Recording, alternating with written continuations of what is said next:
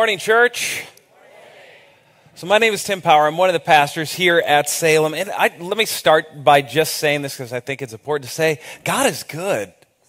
God is good. Can you say that? God is good.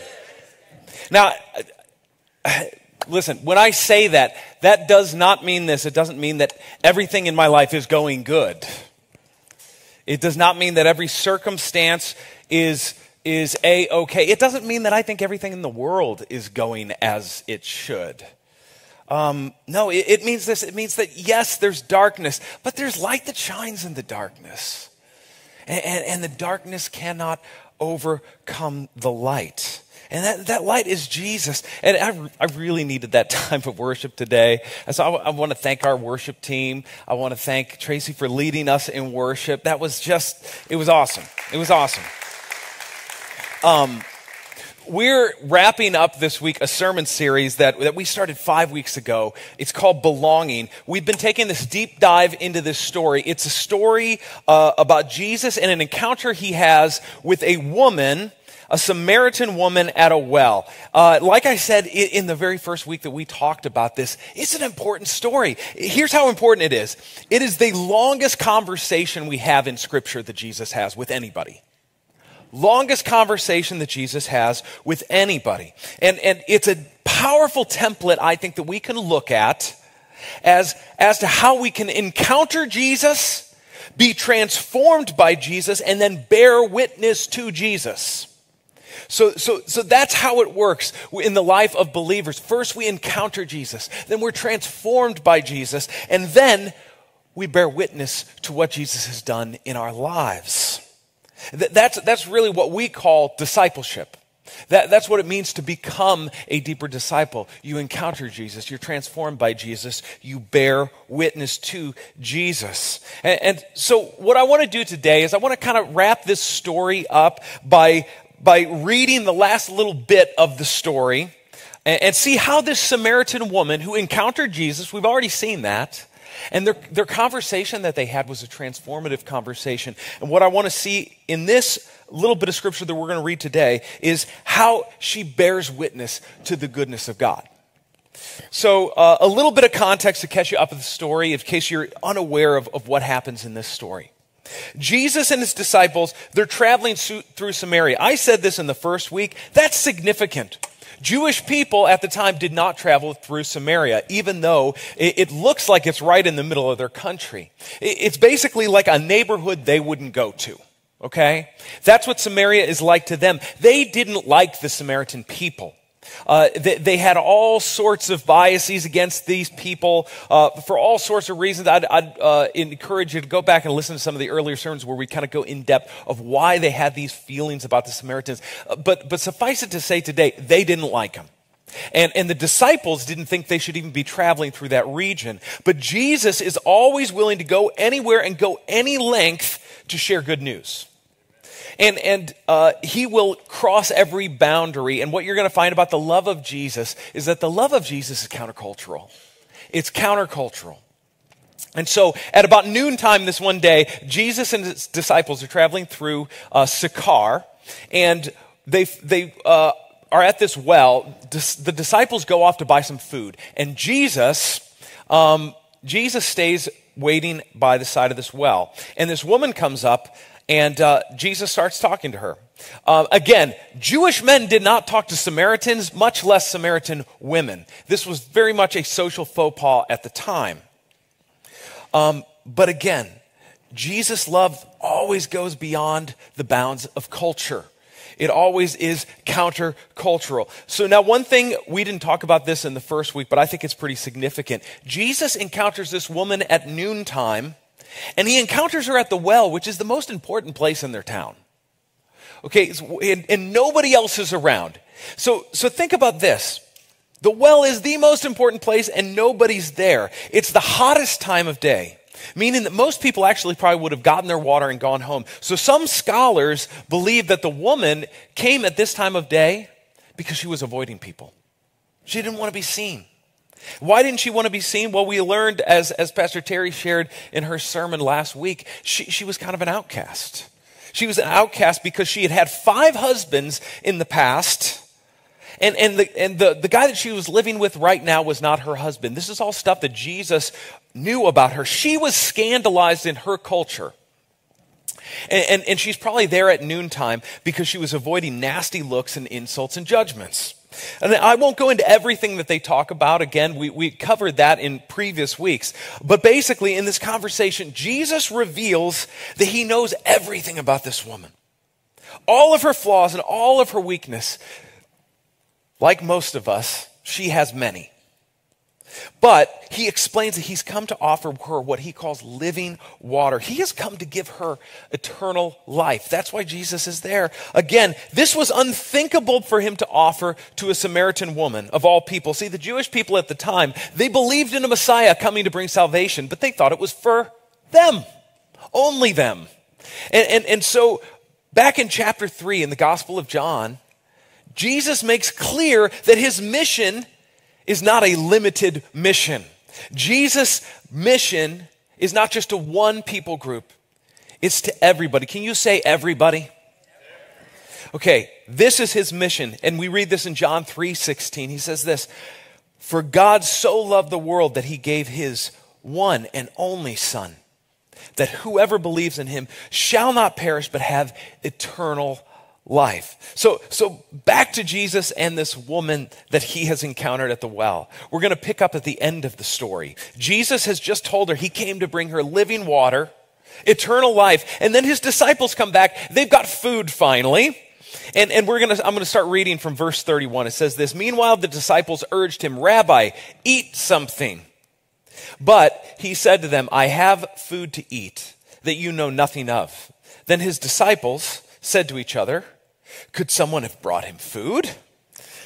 My food, said Jesus, is to do the will of him who sent me and to finish his work. Don't you have a saying? It is four months until harvest. I tell you, open your eyes and look at the fields. Now, by the way, they're in Samaria. They never thought this was the field of harvest. They are ripe for harvest. Even now, one who reaps draws a wage and harvests a crop for eternal life, so that the sower and the reaper may be glad together. Thus the saying, one sows and another reaps, true. I sent you to reap that you uh, what you have not worked for. Others have done the hard work, and you have reaped the benefits of their labor. Many of the Samaritans from the town believed in him because of the woman's testimony. He told me everything I ever did. So, when the Samaritans came to him, they urged him to stay with them, and he stayed two days. And because of his words, many more became believers. They said to the woman, We no longer believe just because of what you said. Now we have heard for our, ourselves. And we know that this man really is the Savior of the world. Now, I want to focus uh, a couple verses back. In verse 39, it says this Many of the Samaritans from the town believed in him because of the woman's testimony. Testimony. Can anybody tell me what is a testimony? What's a testimony? You can shout it out. An endorsement? A witness. So, so sometimes we think of this as a legal term, right? Uh, it's used that way, um, but a testimony could just be a story. It's just a story that's told. Something powerful happened in this woman's life, and she encountered Jesus. And it radically changed her from a woman who didn't even want to be seen in public to somebody who was all over the town telling the story of what Jesus had done. She avoided everybody, but something in this encounter with the Savior of the world made her want to encounter people and to share what happened to her. That's pretty powerful, isn't it? That is a powerful transformation. She couldn't help but share good news. Have you ever experienced something that you love so much that you can't shut up about it? Anybody love CrossFit here? People who like CrossFit love CrossFit couple years ago, I've shared this story before, but uh, we, we made a pit stop on a road trip by Lambert's Home of the Throwed Rolls. And um, yeah, right? Um, so healthy eats for the whole family. Um, and, and my, my middle son, uh, I, I think he was probably about nine or 10 at the time, he, he tried, uh, what was it? Chicken and dumplings. Chicken and dumplings for the first time in his life.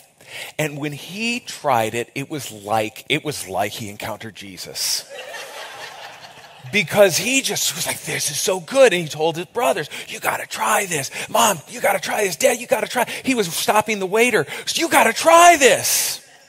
That is what happened with this woman in her encounter. She couldn't help but share good news. She needed to tell about it. So, so after the past few weeks, what we've done here is we've explored this story from a lot of different angles. Here's what I want to do. I, I want to share some practical ways that we could live out what it means to, to share testimony, to share our story um, and, and to tell good news. Because here's the thing if we come in here on Sunday morning and we read scripture and we sing songs and we eat a, a, too many donuts, really, um, and then we go out on Monday and we go to work and we go to school and we haven't changed at all, why are we coming on Sunday? If, if we come in here and nothing is different about us, then, then you, you know what? I, I, don't feel the need to come here. I want to be changed. I want to be transformed like this woman. And I want to go out and I want good news to come out of my lips on Monday morning. I want to tell a story, to tell a story that's going to transform the world. So that's really our mission as Christians, is to share good news, to share good news. That's your call as a believer. That's my call. That's the call of the church. And that's important because here's the thing. We live in a bad news world. We live in a bad news world. Bad news dominates in the headlines, on cable TV, on our social media feeds. In fact, psychologists will tell us that there is, uh, in our brains, we are hardwired for negativity. There's a phenomenon that psychologists call the negativity bias.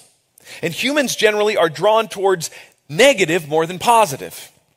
Uh, according to psychologist Dr. Monica Johnson, she spent her whole career kind of studying this negativity bias.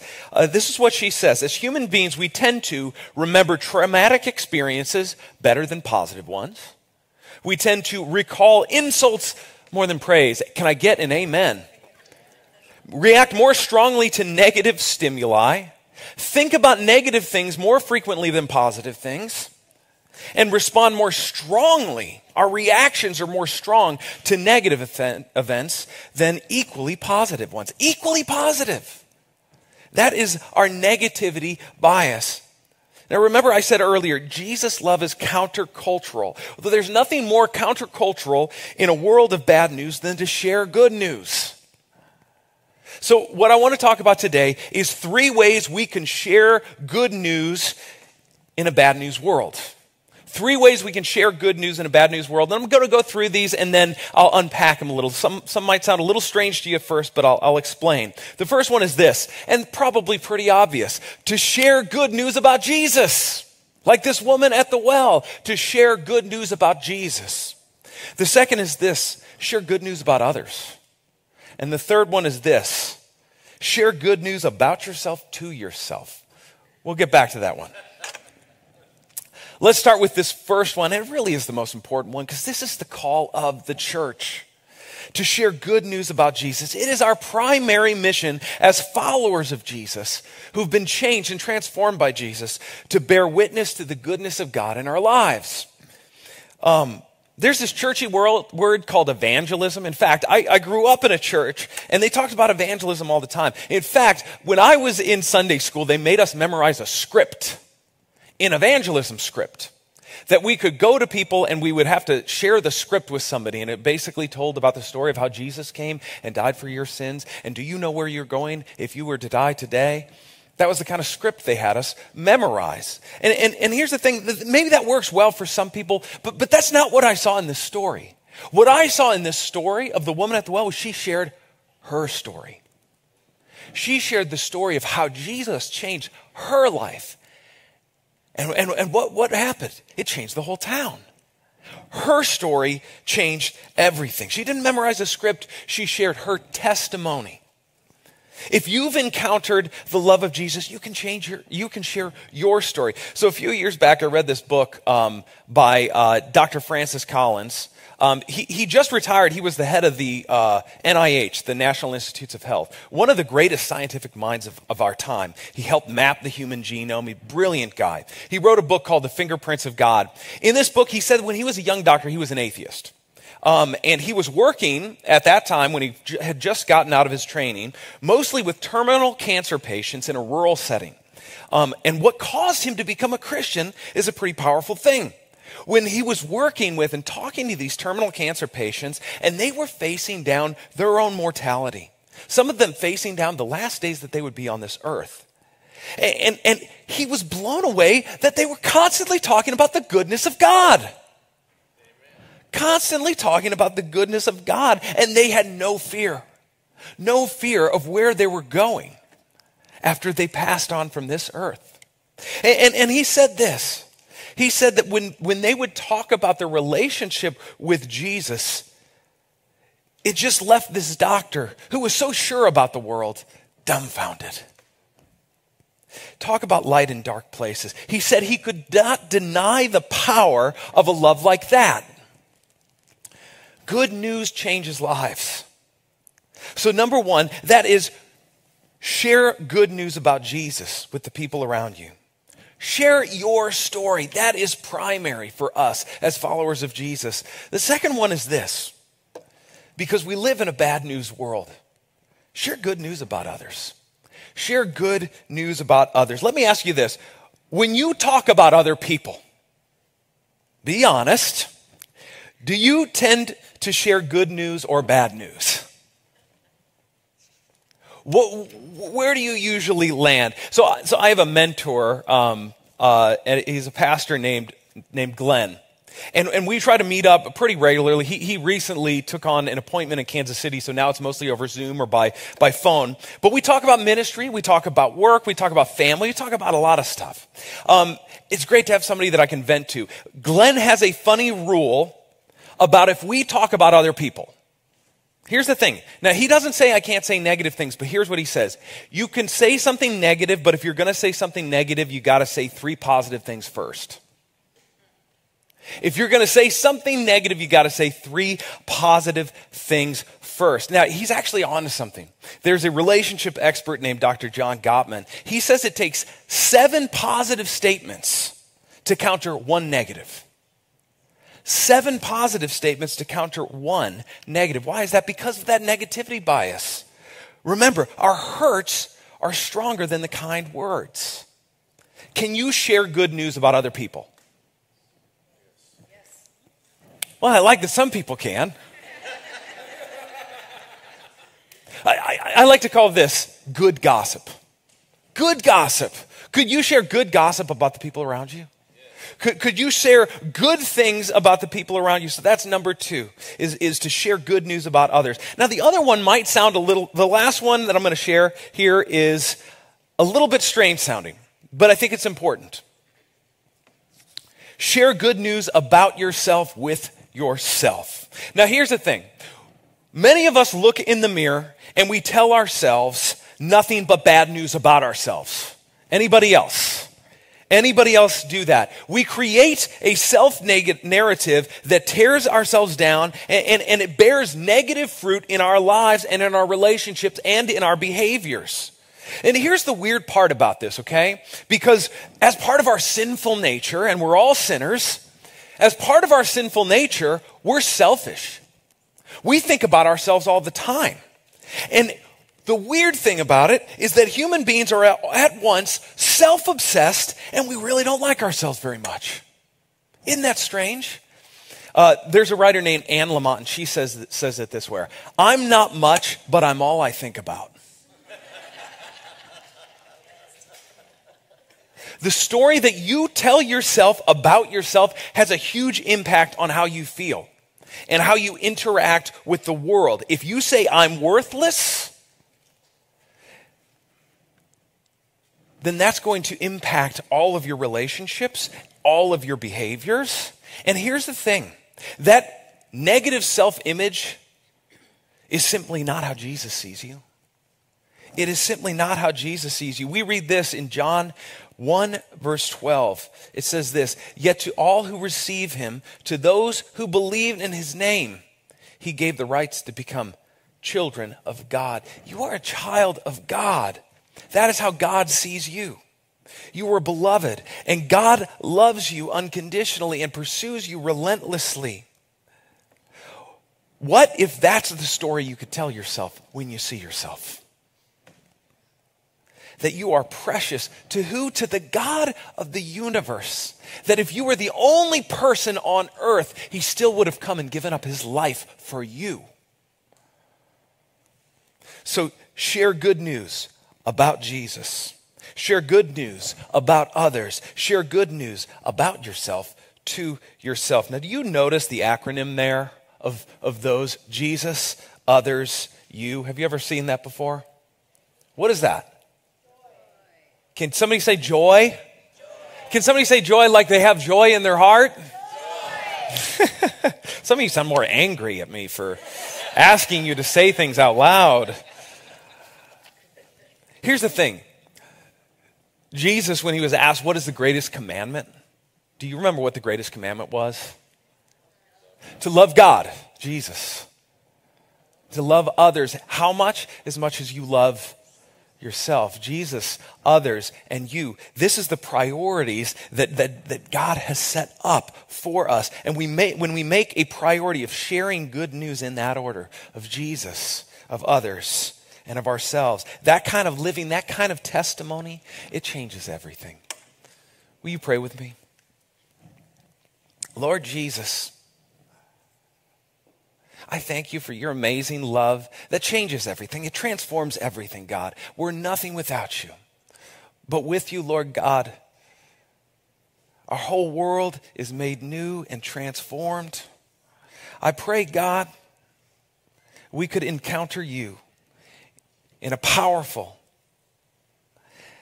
and transformative way, even now, even this morning, Jesus. And I pray if, if there's someone here who doesn't know you, or someone who's joining us on our live stream who has never encountered you, Lord Jesus, I pray that they could know that they're precious to you and that you came so that they could know you, that they could be saved, that they could be set free from sin, from death, and that they could live a victorious life through you. I pray, Lord Jesus, that we could come to know you in an even deeper way right now. I thank you for your goodness. Help us to tell good news in a bad news world, Jesus. Help us to shine light in dark places. We pray this in your name. Amen.